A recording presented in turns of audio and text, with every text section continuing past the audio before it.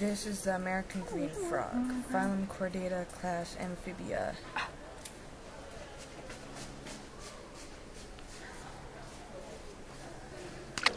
They live in wet, warm climates, preferably still water. The main diet of the green frog is an assortment of insects. They have bilateral symmetry and body segmentation. They have an endoskeleton that's mostly cartilaginous.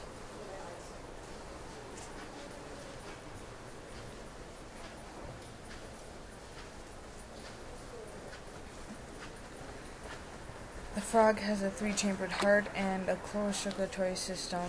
During development, green frogs have pharyngeal gill, gill slits, but they but by the time they reach adulthood, they have two lungs that work on a positive pressure lung system.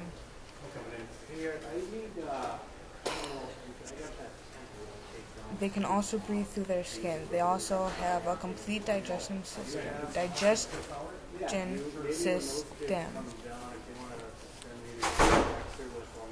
Frogs reproduce with reproduce with external fertilization.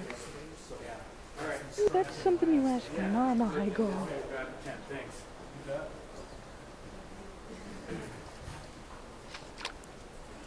Frogs live to control insects and pests Ban it, ban it. Ban it, ban it, ban it.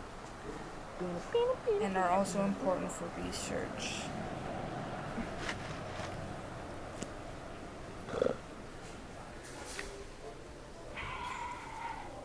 They are food for other carnivores, Hate frogs, man. which they protect We want to get them on a still shot. They sit perfectly still for you. you want them to move, As you can see here, when you want them to sit still, they fucking move around. And, and you want to want them to move, they sit there like dumbasses. green frogs can be found throughout North America. They are native to North America, unlike the invasive bullfrog species. That is the green frog.